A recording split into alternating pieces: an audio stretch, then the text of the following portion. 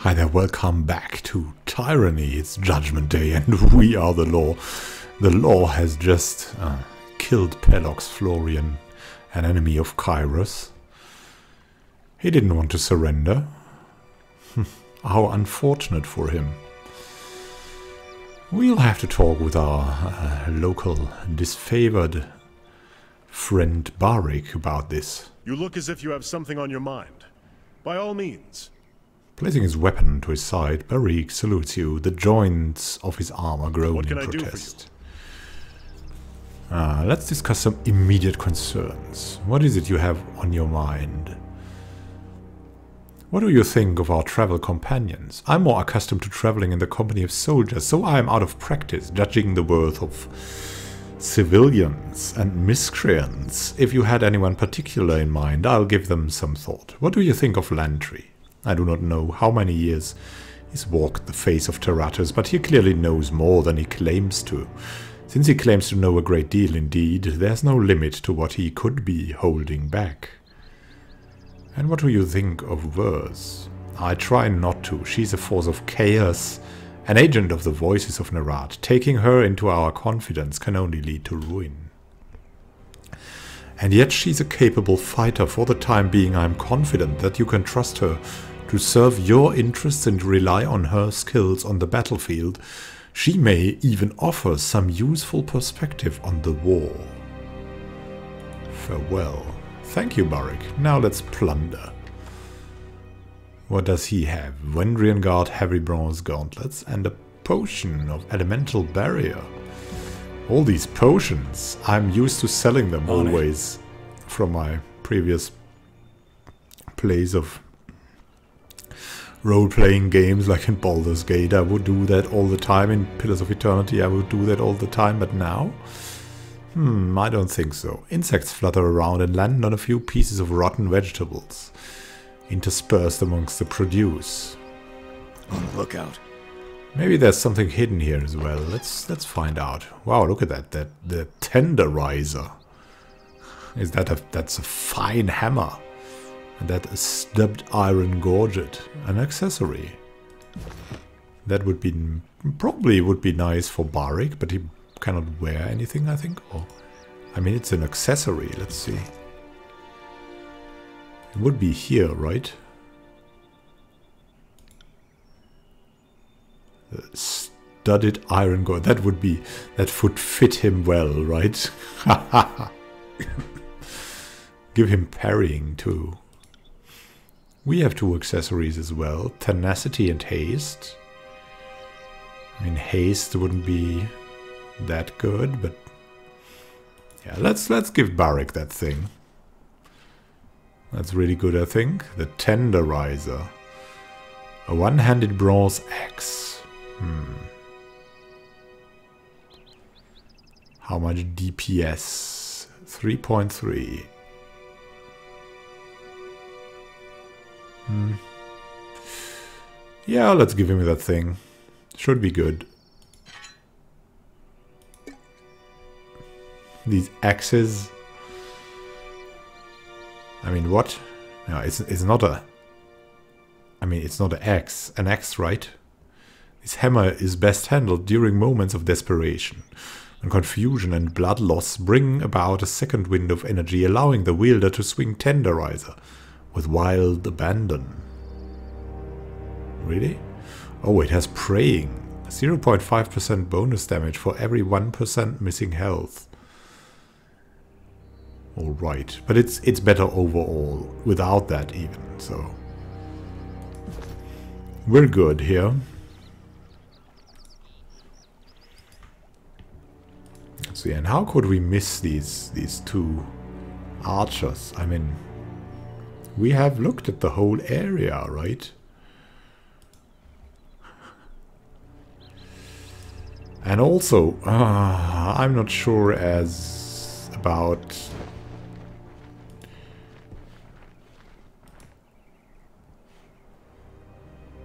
there's some kind of enemy here, right? Moving cautiously. Honor guards. Look at them, they are approaching us. This is Barik, there's us. Who are these guys? They're running. They probably have killed our friends here. Fake Limp and his minions. Hmm. Striking Iron. Should we do that? Definitely should do that. We have the law. The law is with us. I'll do it for the North. The, the bastards have taken Florian. Kill them! Running in with execute. And yeah, you can strike iron here. Greater renewal is a good thing. And we should maybe... Uh,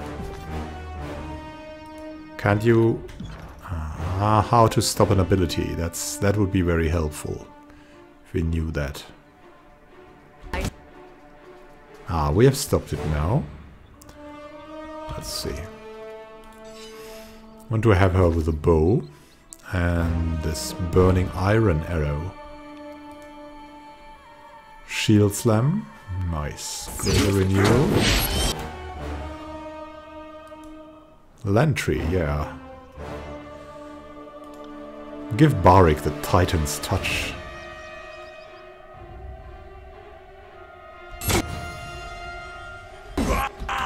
Barik got a level up. Yeah, we'll give him whatever is needed. Uh, more accuracy maybe? No, more spell strength, come on. Give him the spell strength. Preservation, what else can he do? I mean, we're here. Erase the record. Preservation seal on an ally. Oh, that's cool. Gifted healer 2. Hmm, second breath. Revives a fallen comrade. That's good too. But, but let's go for erase the record. I want him to be able to heal. Very well. Protected by Lantry. Yeah. Let's actually give us the restoring touch first and then protect more. Well, Sunder.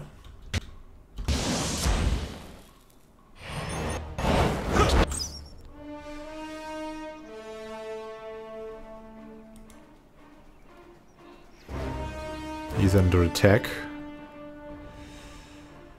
Yeah, the level up bonus, pretty good. He can go for erase the record on himself. Definitely, because yeah, we can go for quicken. Yes, he should he should do that on himself. And Verse, yeah, she should attack. Should continue to attack. We have striking iron. I will.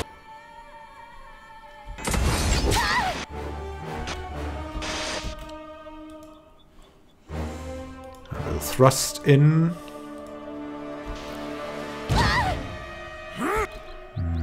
Casting Bastion. Can we stop that somehow? Maybe with a Quill Strike. Come on, Quill Strike. I'm injured. But he has that uh, thing on him right now. Titan's Touch. Ah, kill that guy. Need to kill that guy. Uh, Quicken. Quicken would be nice, right? Let's do the Quicken. Ah, killed him. Nice. Waiting on Lantry. Yeah, we've got one down. Now only ranged people are left here.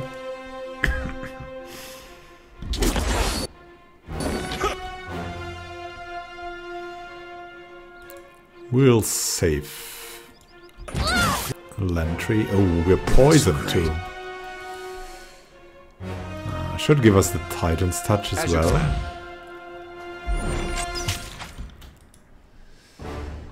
run in here. Oh god, Lantry, you're always going down. That's not good. famed. And we're going down as well. Thank god we have Barik. Thank god we've got Barik.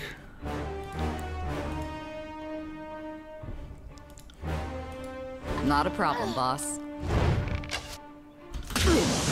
Bam. Burning. Nice. Barik is striking iron.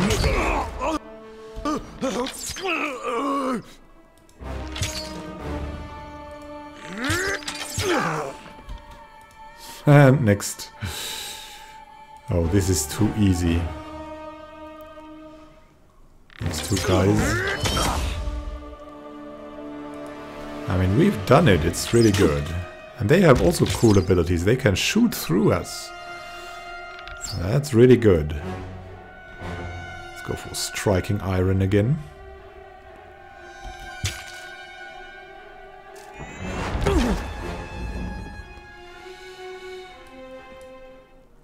We've eliminated the reinforcements and we should definitely rest here.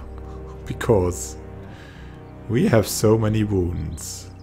Look at that. I mean, Barik has no wound. He's just a monster. Let's rest.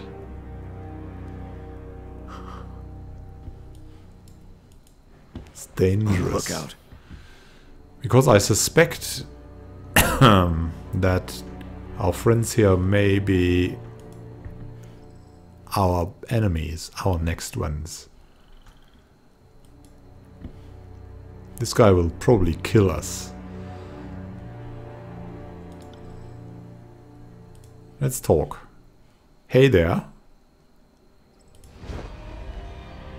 You killed him. He grits his teeth and glares at you. Are you daft? Fifth Eye said we can kill any of them except Florian. Um, I tried my best, but he didn't seem to like the chorus much. And you should have argued harder or knocked him over the head. Carried him against his will. Fatebinder, is this really your first abduction? Not sure I like the tone of your voice. Not sure I like the tone of your face. Fake limp sighs. Well, I guess it doesn't matter now anyway. I'll have to report this unfortunate turn of events to the voices of Nerat in person. Hopefully ridding this wilderness of the Oathbreaker nuisance will be enough to save my own face.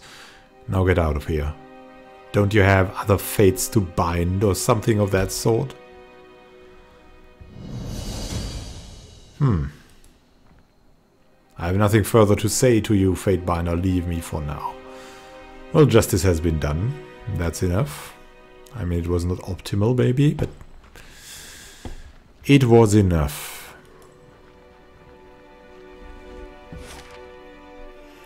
They could have helped, I mean... What can I say? so, maybe we can...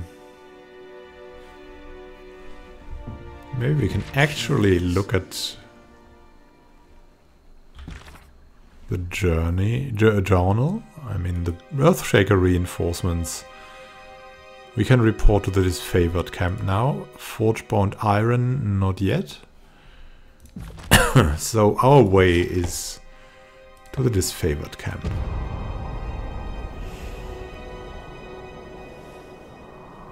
Mm, I like this day and night on the map as well.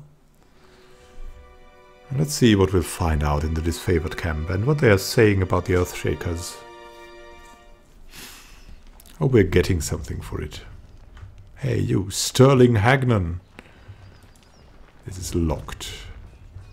Can unlock it now. Oh, look at that. Magician's Mantle. We'll take that stuff. Like to see your wares. We need two camping supplies. And we'll give you all kinds of crap we found.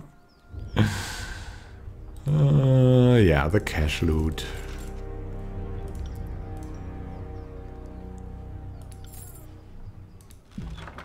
Iron Walker Helm. Hero's Insignia. Nice stuff, but we'll save up our stuff. Subterfuge, always rising. What are we doing here? I mean, we're unlocking stuff. Sevius was it, right? Go back and talk to him about the Earth Shakers. All due respect, our cohorts have proven themselves against these apex fools time and time again. What can your Earth Shakers do other than get in the way? I don't want to be here, Sevius, and my orders don't involve proving our value to you. If the Great General doesn't want magic on his side, then he can order us to stand down and sit this one out. I'll Marshal Arrhenius. I don't question what your mages bring to the table, Hellspawn, but I have my reservations about your leaders. Why couldn't Radix show up to the siege himself if he has more pressing issues than the state of the conquest I should like to hear about it from his mouth. If Radix is not inclined to help, perhaps the next of kin might take his place? I hate to upset the chain of command during a time of war. Perhaps Radix's brother can convince him to remember his duty, Fatebinder. I thank you for the part you played. You didn't have to risk yourself, but you did so all the same.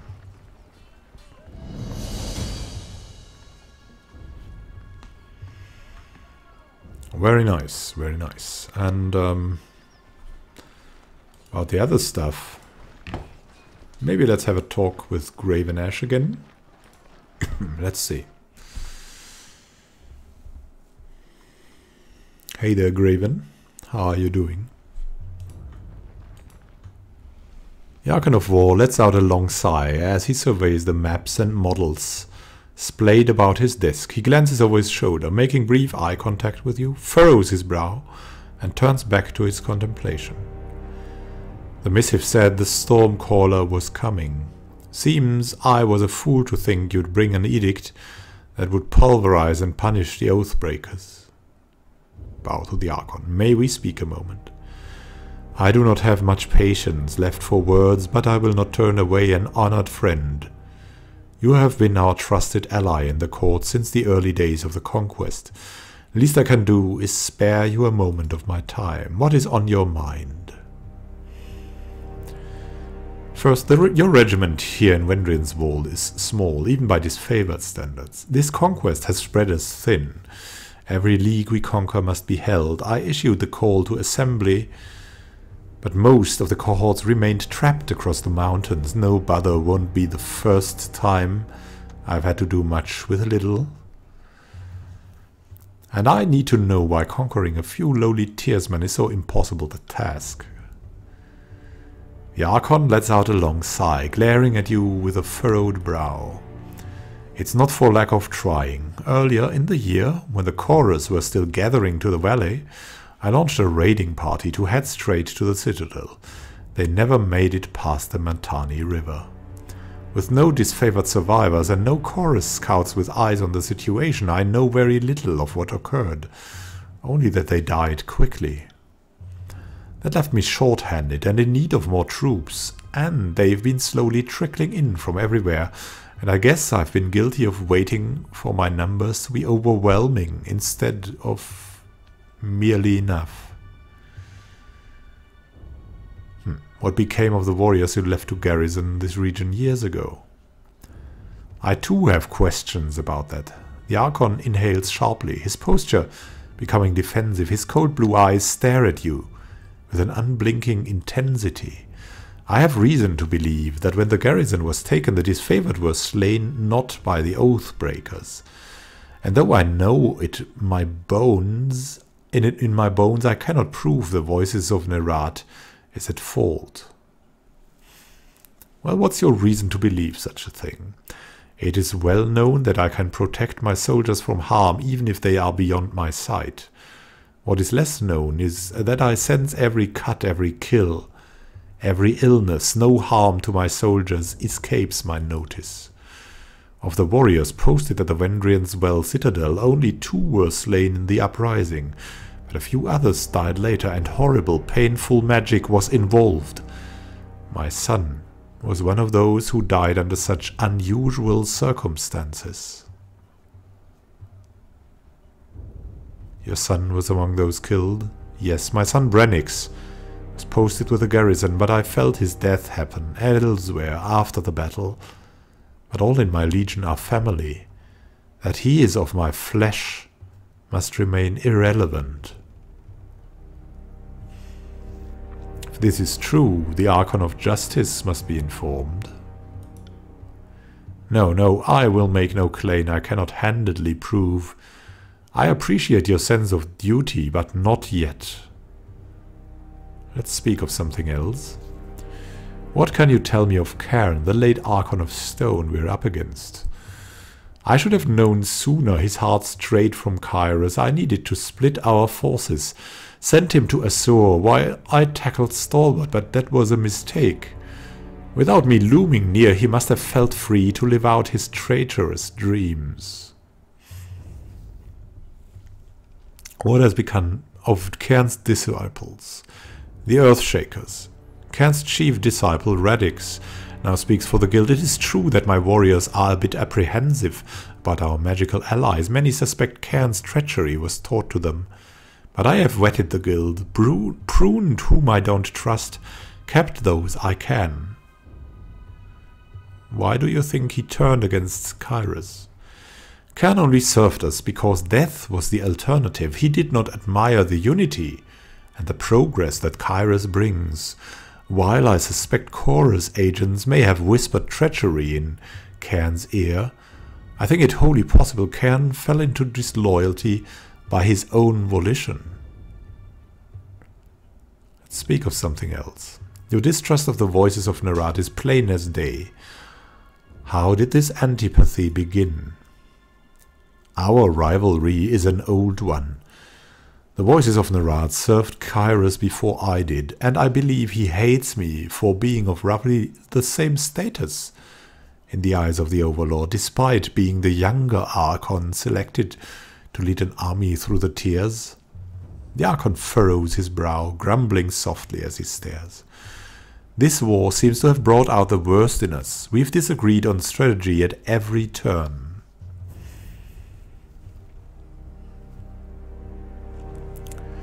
You think his madness is something as trivial as envy? That's a bit self-absorbed. Hmm, I don't know. Should we criticize him? Probably not. He, he seems like a, a, correct guy. I think you're right to be wary of the voices of Nerat. I'm glad you concur, for I feel my paranoia around him is somewhat justified. And that's all. For the glory of Kyros, the Archon of War taps the haft of his maul to the ground for emphasis, then turns back to his maps. Can we look at something here? Can we take that? Got it. Seems like Iron Walker helm. Yeah, let's let's take everything. It seems like this is allowed, so it's not against the law. This battle report from Echo Call Crossing blames the failure of the assault on the village on the Scarlet Chorus. Apparently, their scouts failed to report critical intelligence about the enemy composition. Wow, grave things are going on here. Murder inside the army. I mean, it would be typical, right? Men whose profession it is to kill, put together and not understanding each other, not liking each other. Yeah, we can imagine what happens there. So... I'd say for now, thank you for watching. Happy gaming to you. In the next episode, We'll probably go to Echo Call Crossing and try to find out what happened there. And uh, it will be another Judgment Day, and we are the law. Happy gaming to you, and see you in the next episode.